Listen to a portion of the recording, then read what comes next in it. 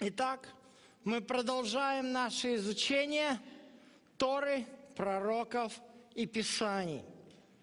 И приступаем к изучению следующей недельной главы Ваишлах, которая начинается в книге Бытия, 32 глава,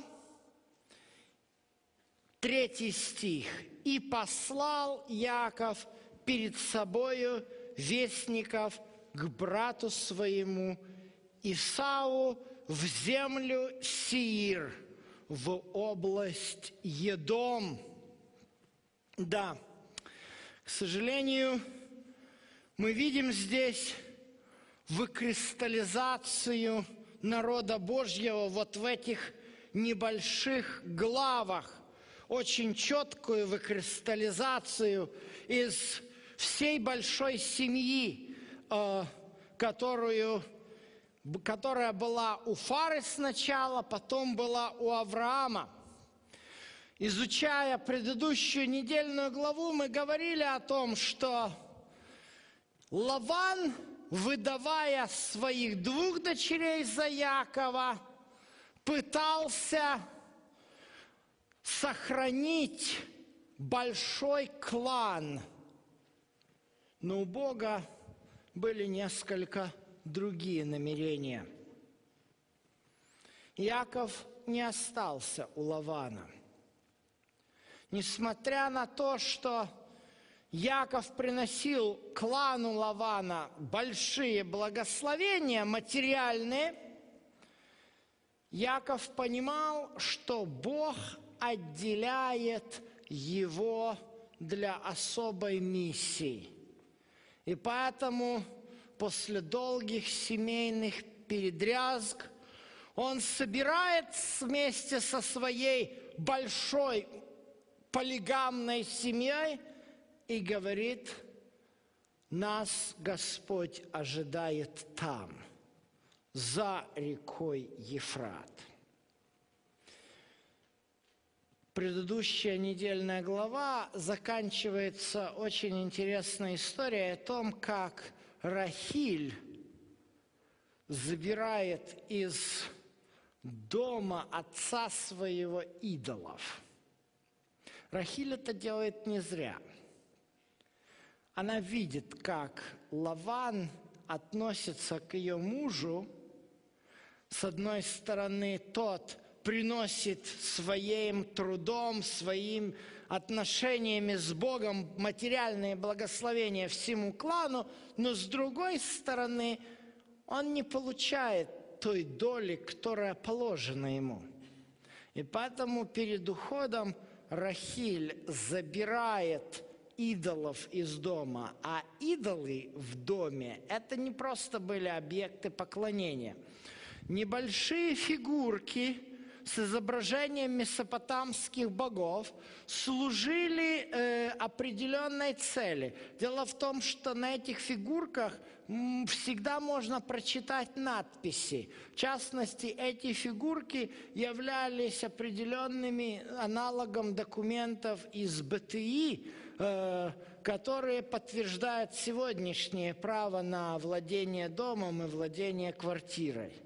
Ну, естественно, представьте себе, какой переполох это вызвало, если Рахиль забрала все это с собой. Естественно, предъявитель всего в суде имеет право на полное владение всем имуществом.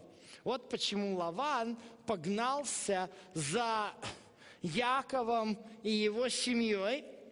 И когда они не обнаруживают и не находят этих идолов, Лаван проводит черту. И 31 глава заканчивается тем, что они делают огромный холм из камней, и Яков и Лаван приходят на этот холм и называют его парамейский Бытие 31 глава 47 текст. Егар Сагадута, что означает холм свидетельства. И говорит, после этого написано, «Сегодня этот холм между мною и тобою, свидетель, посему и наречено имя ему Галаад. Да надзирает Господь надо мною и над тобою, когда мы скроемся друг от друга. Если ты будешь худо поступать дочерями твоими, Сей памятник, который я поставил между мной и тобой, этот холм свидетель, что ни я не перейду к тебе за этот холм, ни ты перейдешь ко мне за этот холм. Иными словами, с одной стороны, Лаван, как отец, пытается предать в руки э, Якова дочерей своих, с другой стороны, он понимает прекрасно, что если они вернутся обратно, то это будет проблема. Это первое разделение. Разделение между фактически двумя народами. То, что Бог сказал Аврааму в 12 главе, втором стихе, в 31 главе, 52 стихе сбылось. Бог сказал Аврааму, что от тебя я произведу новый народ. И это происходит, потому что вот здесь чертится первая граница по Галааду – Северо-восток Израиля сегодня. Эта область существует до сих пор. Это граница между двумя народами. Между народом еврейским, потомками Авраама, и народом арамейским, потомками Нахора и его детей. Фактически сегодня это является границей между Израилем и Сирией. С единственным отличием, что Сирия сегодня уже не населена в большинстве своем арамеянами, а населена арабскими народами. Но граница имеет огромный, вы видите, возраст. Это первое разграничение. Но 32 глава начинает нам говорить о втором разграничении. Яков послал вестников к брату своему Исаву в землю Сиир в область Едом. Мы знаем из предыдущей недельной главы, что Едом – это было второе имя Исава – что происходит здесь? Вы видите, как Бог определенным образом выделяет, выкристаллизовывает определенную группу людей.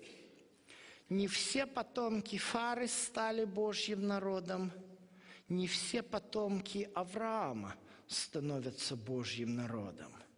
Вот и Исав, женившись еще на двух дочерях – потомков Измаила, вроде бы и родственник, но уже живет отдельно и имеет отдельную территорию. Едом. Да, Яков пытался примириться с Исавом. Он пережил борение с Богом, когда переходил реку Ярмук, ибо он боялся, как Исав отреагирует на него. Да, Бог был милостив к Якову, и Исав никаким образом не проявил никакой агрессии непосредственно к Якову. Но у них не было никакого взаимного интереса. Как только Исав понял, что Яков ничего от него не требует в материальном плане, он удовлетворился и удалился к себе на юг. Недельная глава заканчивается повествованием о смерти Исаака, где Яков и Исав – встречаются между собой последний раз, чтобы похоронить своего отца. И последняя часть недельной главы опять Толедот. Родословие, но родословие уже сынов Исава. От Авраама к Исааку отсеивается Измаил, от Исаака к Якову отсеивается Исав. Идет выкристаллизация Божьего остатка. Людей, которые действительно представляют и проявляют интерес к Богу. Выкристаллизация происходит не по принципу праведности или грешности, ибо оба и Исаак, и Яков имеют свои проблемы. Но Яков выходит из своих проблем победителем, получая другое имя. Вот тоже характер изменяется. Яков становится Израилем, тем, кто боролся с Богом, и удержал благословение. Якову было интересно и важно получить это благословение. «Не отпущу», — сказал он там на острове, «пока не благословишь меня». Для Исава это не было интересно. Узнав, что у Якова нет на него материальных претензий, еще он ему дает подарки, тот оставил его в покое. Но между Израилем и Едомом – никогда хороших отношений не было. Об этом говорит нам Гафтара. Книга пророка Авдия имеет всего лишь одну главу. Но эта глава посвящена проблеме Едома и ненависти Едома к Израилю – с 12 стиха нам записаны такие слова. «Не следовало бы тебе злорадно смотреть на день брата твоего, в день отчуждения его.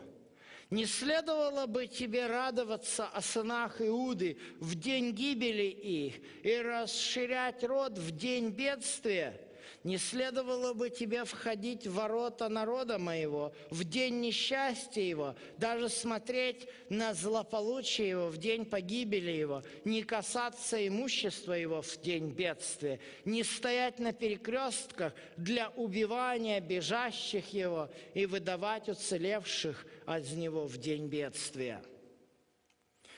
Эти слова пророка Авди относятся к трагическим временам в жизни народа израильского, в частности иудейского, когда войска Навуходоносора приступили к, Навуходо... Э, к Иерусалиму и разрушили город.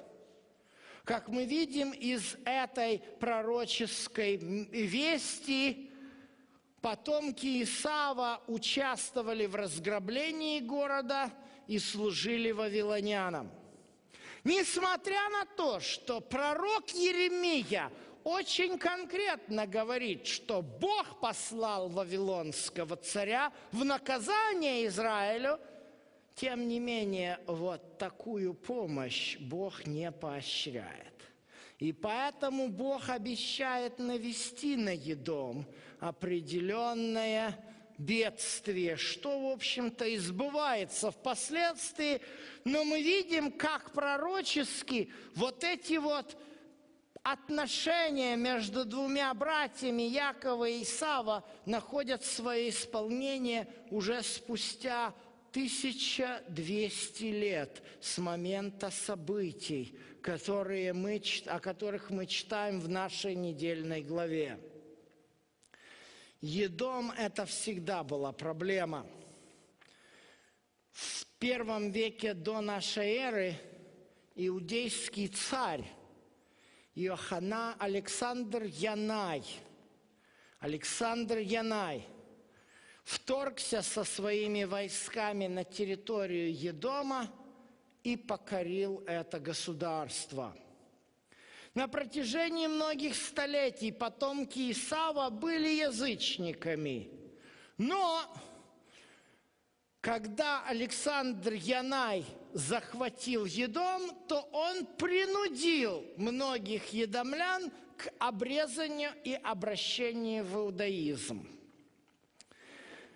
Из этого шага ничего хорошего не вышло. Для нашего исследования Нового Завета к этой недельной главе э, мы предложили историю, которая известна очень многим.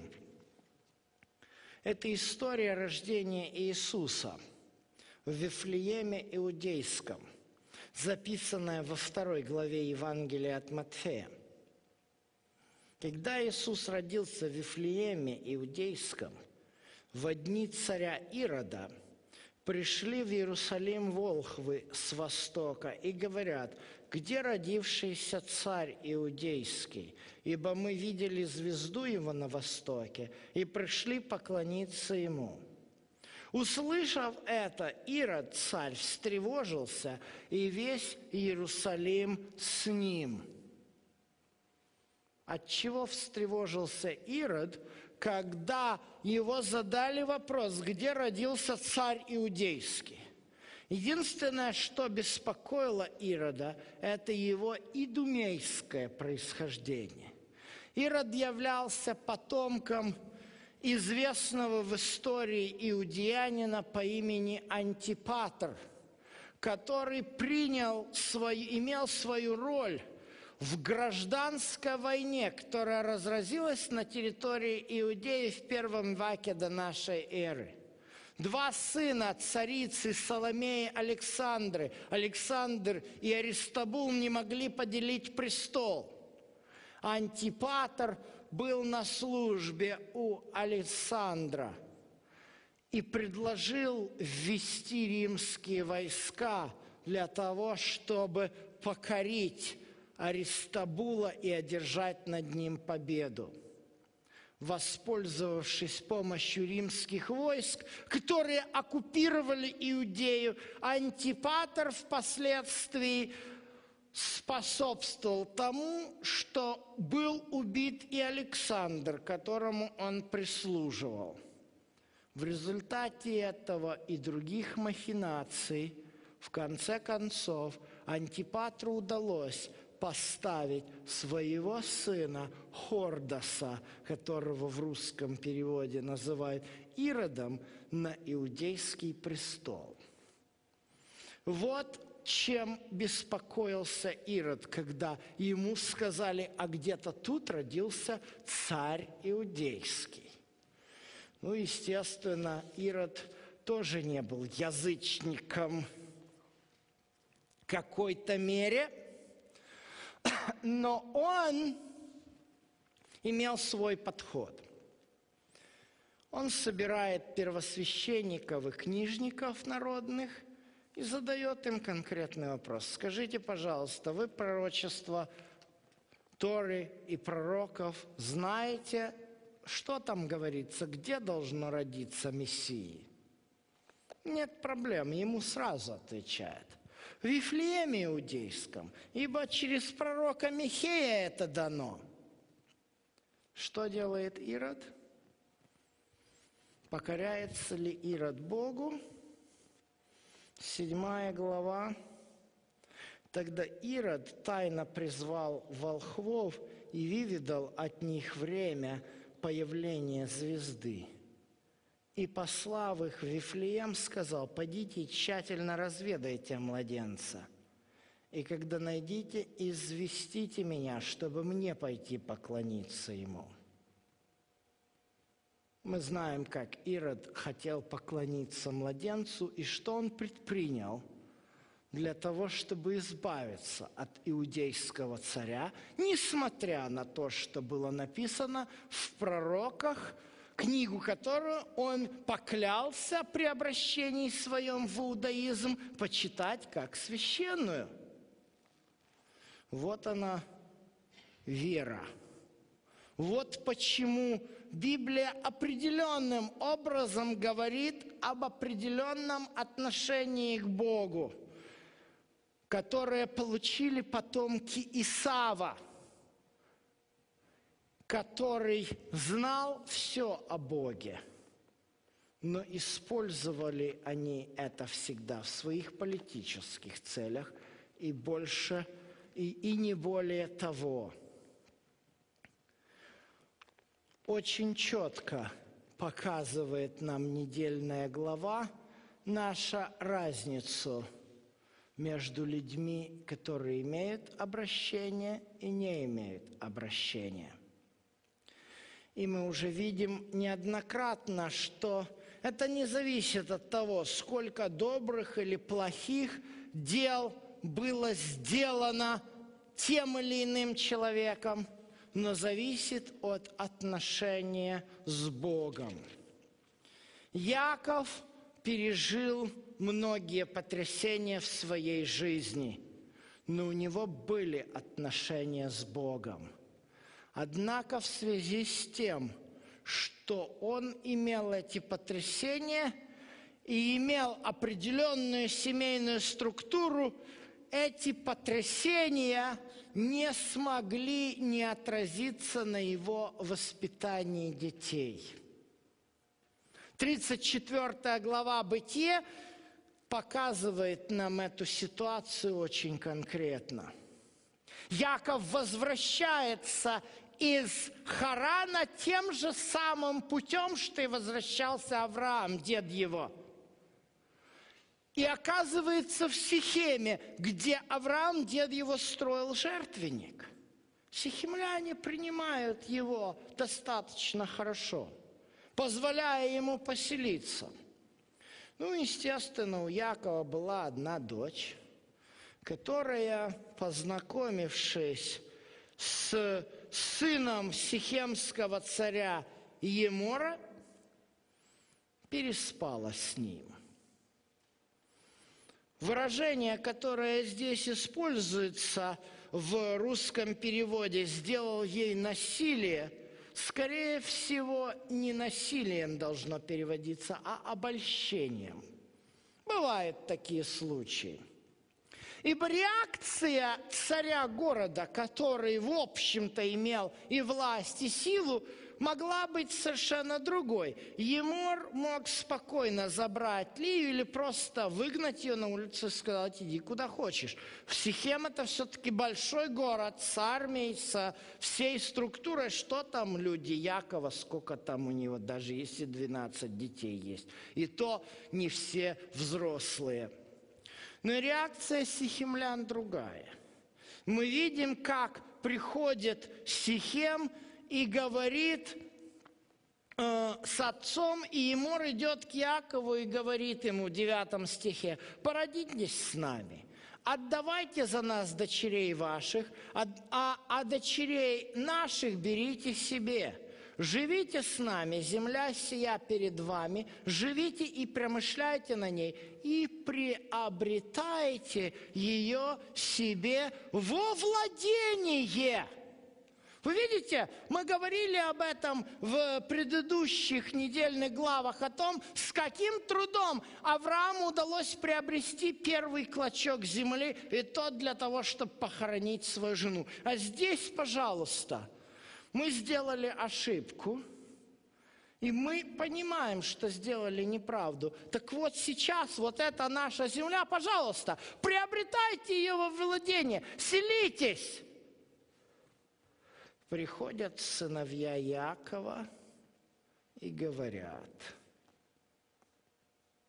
не можем этого сделать, 14 стих, выдать сестру вашу замуж за человека, который не обрезан – мы уже говорили об обрезании, но мы видим явно, что Рувим и Симеон не, вы, не принимают этот жест, этот обряд за духовное, а используют это в своих целях.